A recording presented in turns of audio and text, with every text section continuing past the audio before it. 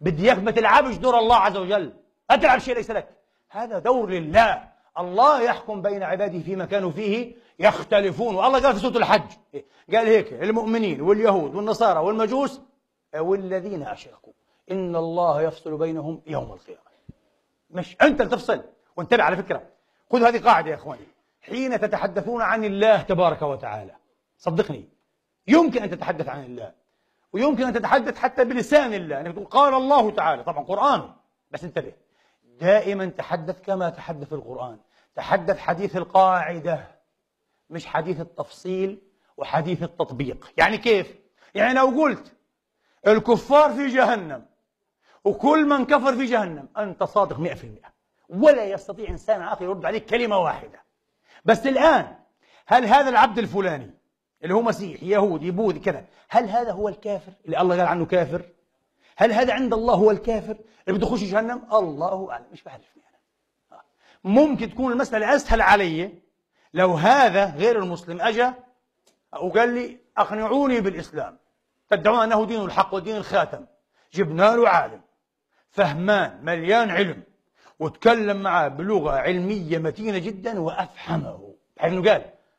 قال الشهادة أن كلامك كله مقنع تماما وليس عندي عنه جواب ما من جواب لدي كلامك مقنع. طب هيا يدخل في الدين؟ يقول لا. لو دخلت في الدين بفقد مصالحي بفقد بعض الشهوات تغضب علي زوجتي يغضب علي قومي لا أريد. هذا كفر. هذا كفر بالحق إيش؟ إذ جاءه. هذا كفر بالإيمان. هاي الكافر. تبين؟ هنا قاعد نطبق. أنت هنا بتقول هذا حسب حاله. الأرجح لو مات على هذا يكون هلك. الأرجح. لكن يبقى أمره إلى الله. ليش؟ إيش عرفني أنا؟ ممكن هذا الرجل في عنده عقدة نفسية أو عقلية تجعله معذورا عند الله. ملتاف في الداخل. من يعلم منا إيش داخل هذا؟ تعرف أكبر رغز هذا هو. أكبر. نحن الآن نتكلم. وبنتشاوف هينا ها؟ نتباصى ونسمع بعضنا. والله العظيم كل واحد في هالبطيخ هذا عنده شيء عالم لا يعلمه إلا الله. فهالبطيخ هذه فيها عقد وفيها ظلام وفيها نور وفيها مشاكل؟ يعني الآن وأنا بتكلم هيك ممكن واحد شخص كل كلامي هذا ما سمعوش ومغيوظ من كرفتي وبفكر في الكرفته الصفراء هي إيش تعملوا هذا؟ مسكين هذا. هو أنت بتتكلم بفلسفة وعلم دين ولا على باله. واحد تاني قاعد ها هذا اللي بيطلع في روتانا روتانا وليد بن طلال بعطوه فلوس صار عنده فلوس كثير وأنا ما عنديش فلوس يلا أنا مريض. مريض مسكين. البشر هكذا. أنا أفهم هذا أعيش هذا. بحاول أفهم هذا دائما في حياتي. ولذلك لذلك منظورك بيكون أوسع وأكثر مرونة. بتقول دع, دع الخلق للخالق. كل واحد بطيخته حر ما حدا بيعرفها إلا الله. إيش دخلني أنا ما كشفت معلش فيها. الله اللي حيطلع كل شيء فيها. وقال لك يوم تبلى إيه؟ السرائر. حيطلع كل شيء في الدنيا لا تبلى السرائر ولا تبلى. ما تبلى ما حدا بيعرف.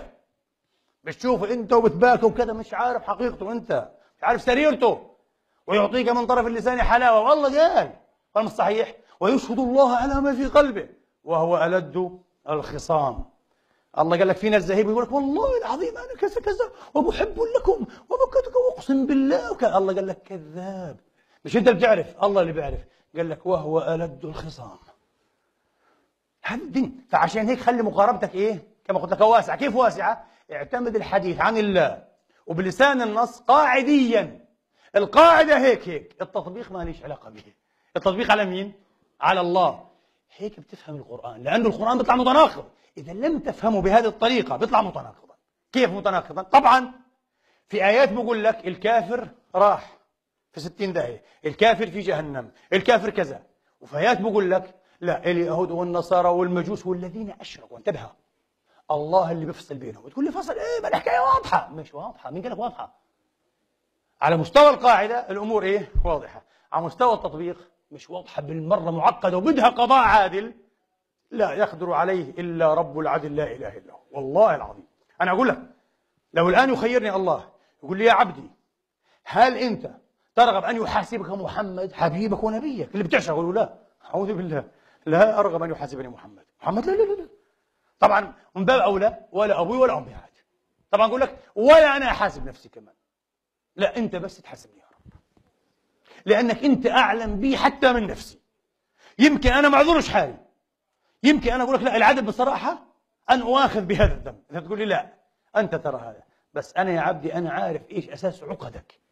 اللي خلنك ضعيف في هذا الموقف وتصرفت هيك أنا عارف أنت ما بتعرف. اذهب غفرت لك. هقول له أنت وحدك اللي تحسبني لذلك دعوا ما لله لله يا ريت يتعلم أهل الدين هذا الشيء. والبشر وكل مسلم تقي كل واحد ولي وعارف بالله. دعوا ما لله لله لا تتدخلوا فيه. وتكلموا على مستوى القاعدة. تكلموا على مستوى إيه؟ القاعدة.